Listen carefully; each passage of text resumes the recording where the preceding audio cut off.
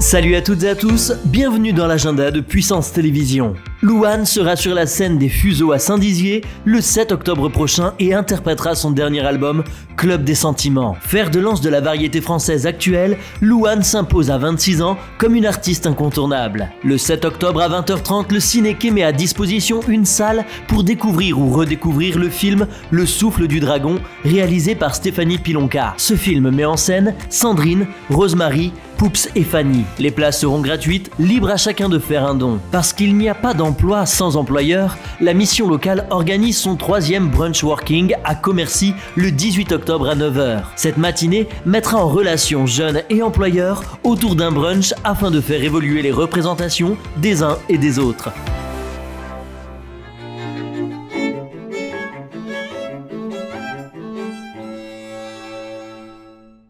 Retrouvez le quatuor Léonis dans un show à 200 km/h. Il joue, danse avec la musique classique dans un spectacle théâtral, musical et visuel pour tout le public. Le quatuor nous invite à la musique classique à travers l'humour et le mouvement. Un show qui aura lieu le 6 octobre à l'espace Simone Signoret de Vitry-le-François.